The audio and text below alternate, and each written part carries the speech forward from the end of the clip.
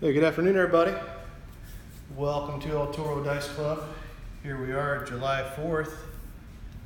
Uh, got red, white, and blue, right? How about that for a little theme?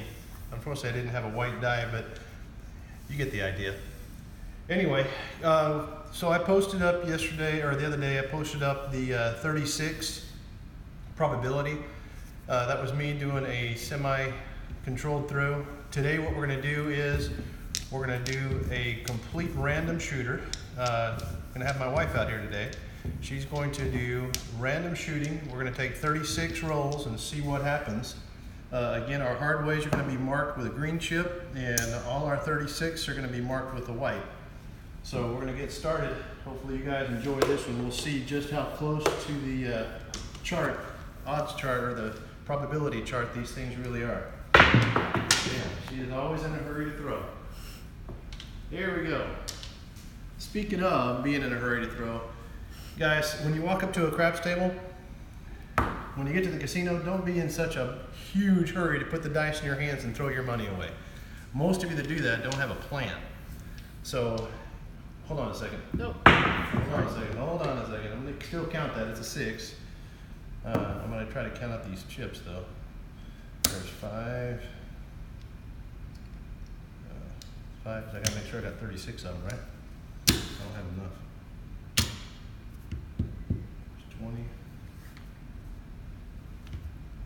Twenty-five, thirty, thirty-five, and thirty-six. Okay, yeah, that's gonna be a lot of rolls, so hopefully, guys, we're gonna go through this pretty quick. I'll be talking while she's throwing the dice, uh, that way we don't have to worry about much anything. Anyway, what I'm saying is, don't be in such a hurry to throw the dice. Uh, you know, without a plan, you're going to lose. Without a plan, you guys are going to lose. That's a 538. Uh, you know, I talk about it on all the videos, which is, sorry guys, I, you know what? I think I'm going too quick. There we go. That way y'all can see these things. Um, go with a plan. Go with a plan.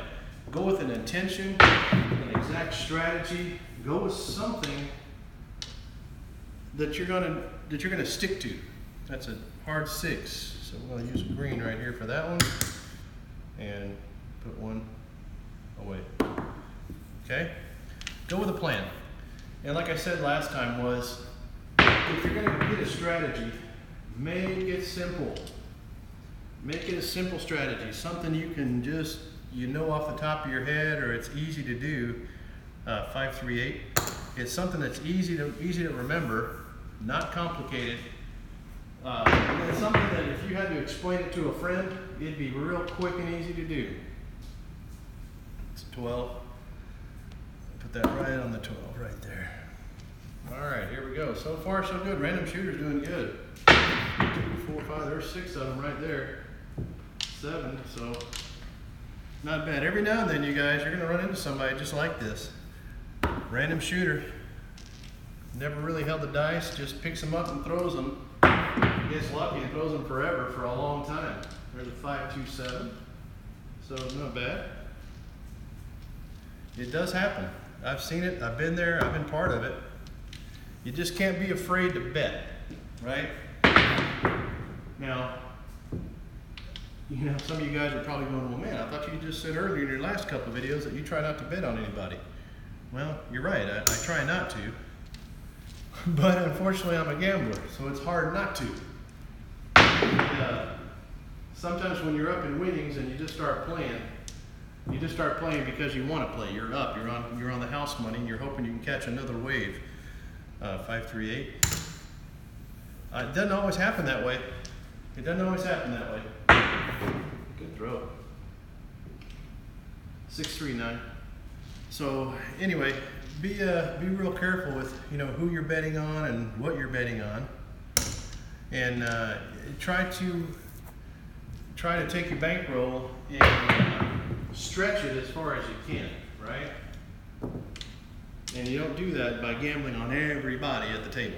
Six two eight. So what I do is when I walk up to a table and I'm looking at the all talls and all smalls, if there's a table that has that on it, and you see that a lot of these things are being marked, that's a good table, guys. That, that means that person's actually throwing, that's six, five, eleven. Mm-hmm. Means that that person's actually throwing some numbers. You may want to jump on there. Don't be Because if they've already started marking both sides, that person's shooting. They've been shooting for a little bit. And when you walk up, ask them, say, hey, how long is this, how long have they had the dice for? They'll tell you. They'll tell you. Five, two, seven. Okay, there you go. So anyway, walk up to a table, check out your all tall smalls. That's a good sign about how the table's doing. That's what I do. That's my gauge. My second gauge is I look at how many people are on the table and how much money are in their chip racks. And I'll ask them, did these guys buy in for several thousand or did they buy in for a couple hundred? And if this guy standing next to me in the space says, yeah, I bought in for a couple hundred, and he looks like he's got about a couple, you know, four, six hundred, seven hundred in his chip rack, I'm probably going to get in because that means that table's hot. It's trending on the hot side. Now, if you walk up to a table and it's not very loud, and all you see is one or two numbers, hold off. Hold off. That's a hard four. That means that a table is either one and done, two and seven, three and seven. You're not getting many points established or many many throws shooters or the shooters on the table. Be cautious. That's a cold table. Now, some of you, like me, might be able to warm it up pretty quick uh, just because we have a, a way of throwing the dice. Some of you don't. And those of you that don't, I'm telling, to cautious, caution you, be careful. That's how you get burnt. That's how you lose your bankroll in about the first 15, 20 minutes. So be cautious. And here we go. Look at this random shooter. She's only throwing three sevens. Not bad. And honest to God, she's literally just picking up these dice, just how I give them to her, just like this. And she's just thrown them. Uh, doesn't really have a, a grip to them at all. Just kind of how you gripping them. Put your hand out there. How you gripping them? I mean, I just hold them like that. Let me sit here. I'm gonna put the dice out here. I'm gonna give you the dice. That's a seven. So put grab. Show them how you're holding the dice. Just like that, right? Just grabbing them. Little little grip. No worries. Nothing magical. Nothing fancy, right? My wife is not a uh, craps thrower. She's not a craps king. She's not a sharpshooter. She's not a dice setter. She's the one that likes to go up there and have fun.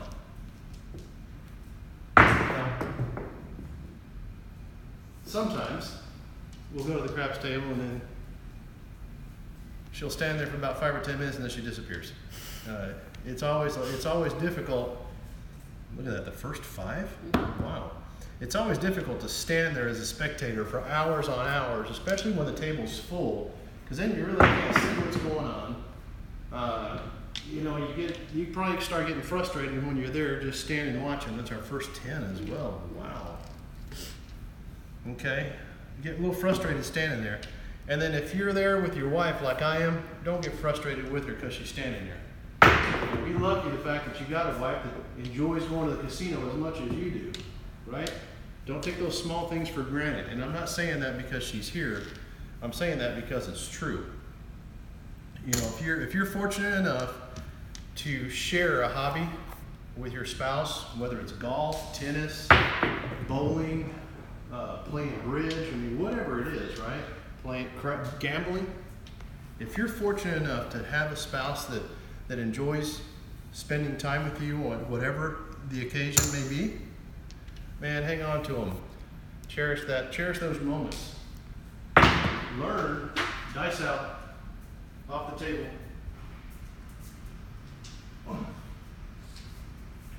Learn to uh, make the most of those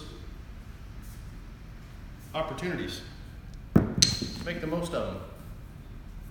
Because you never know when you may not be able to enjoy them together after a while. You know, your life gets in the way or other things happen. Second five, look at that my favorite number, and you can't even hit it. But you are smacking the nine, though, too. Nice. So.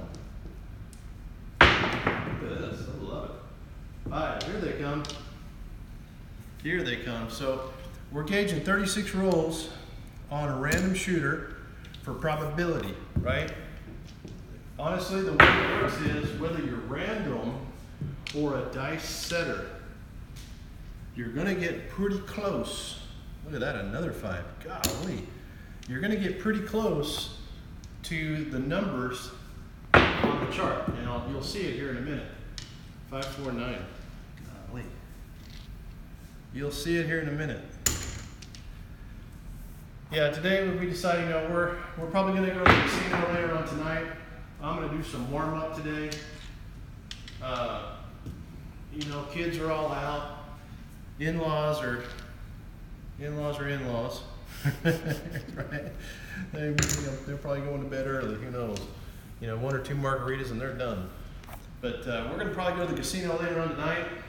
We'll probably stay there for several hours. Enjoy our enjoy our four day weekend all the way through Monday. We may even stay up there. I don't know.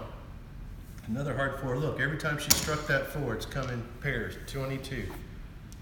That's awesome. That's great. Make a lot of money on that four like that with her, guys. Y'all know it too. But anyway, we're getting close to our uh, final. And if you uh, if she finishes up, if she finishes up on a seven, then we'll call it done. But if she if she doesn't finish up on a seven, I'm gonna have her keep rolling. So if those of you that want to use her roll and check your betting strategy, there's our first four, nat natural four, or three one four. If those of you want to just use her rolls on your betting strategy and check it out for a random shooter and just try it out, heck, go for it. She's actually doing quite well. 426. Not bad at all. Not bad at all. So, anyway, we're going to post this up. It's going to be our second, uh, second uh, 36 dice roll probability video. It's going to be a six, another hard six going to be our, what the heck? What have I done here? Oh, that maybe is, that is, That's it. that is 'cause five. You're done. Yeah, 'cause I got three green, inch. Yep. Yeah, see, even, even doing this, guys, all right, just keep on shooting. Keep on shooting until you throw a seven. Mark with a different color then maybe. Or, uh, All right, good idea. All right, so we're gonna use our, we're gonna use our, uh, what are these? Can't even read five thousand dollar chips. That's a that's a eight. So anyway, I forgot what I was saying, but we're going to check the probability on this. Use your use the rules if you want. Uh, we're going to do probably five days of probability. We're going to do different kinds of three types of throws. Uh, there's our set. Okay. So not bad. We're going to do a couple different throws. So today this throw was was uh, my wife non-shooter, uh, random pure random. I just handed her the dice and she pitched them. So let's see what we got here. We should have 36 plus 2, 38 is what we should have here. 1, 2, 3, 4, 5, 6, 7, 8, 9, 10, 11, 12, 13, 14, 15, 16, 17, 18, 19,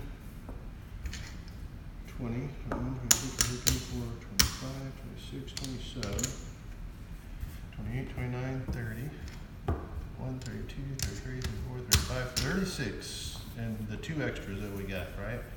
So there we go. So on the chart, there's one way to make a 12, one way to make a 2, two ways to make an 11, so she did one. She didn't even touch the 3 this time.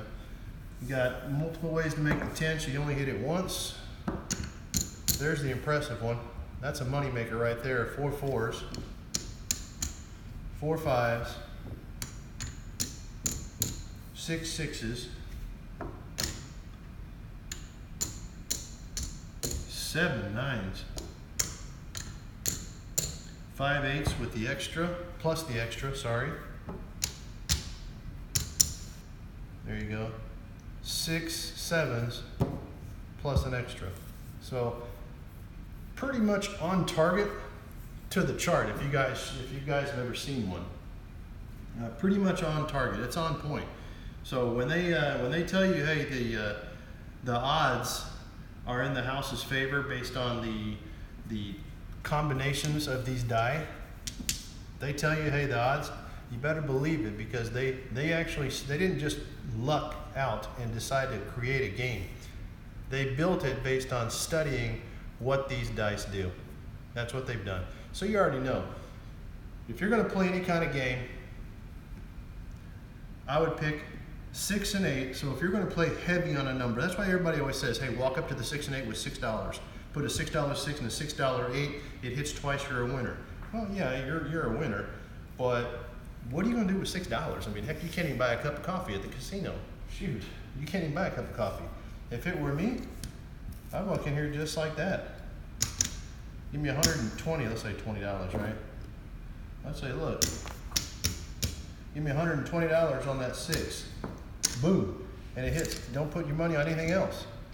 Just wait until the six hits. When it collects, you're going to collect 140 and down. There you go. You're finished. You made 140 dollars. No problem. That's that's a win. Now you can go buy a cup of coffee, and you can go get a, uh, you know a buffet for both of you, or you can go to the gift shop and buy something, or pay it and then move it to the eight. See what happens.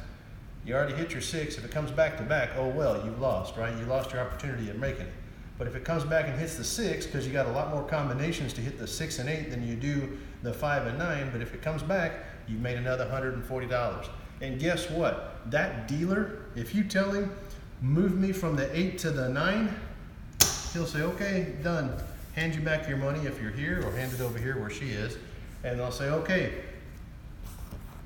rolls a nine, you get another 140. Then you can tell them, move me from the nine to the four. Okay, it's called chasing. But guess what? You've only got $100 at risk at the first time. You hit it once, you hit it a second time, now you're just moving their money around.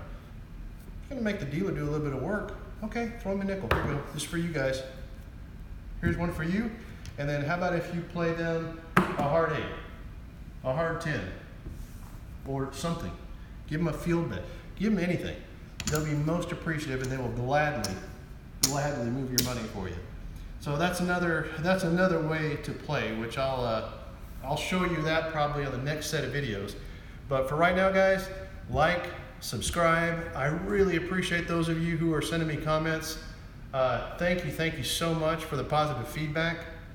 I try not to make too many mistakes, but again, I'm an amateur at, at videography and counting the money backwards and doing dealing and all that stuff thank you so much for uh, subscribing to my channel. I really do appreciate it. I like the feedback. And by the way, uh, for those of you who are watching the channel, uh, it's really flattering. I'll just tell you this. It's incredibly flattering to uh, have some of the big boys subscribe to your channel. Although it may not mean much to anybody, it means a lot to me. So thank you so much. If you guys want to reach out to me, uh, and uh, we can have a conversation. We can talk about stuff and kick some ideas together. Whatever it is you want to do, uh, you know, hey, let's do it. I don't mind. You know, like I got nothing to do all day other than gamble. so, guys, like, subscribe. Thank you so much. Y'all have a happy fourth. Peace.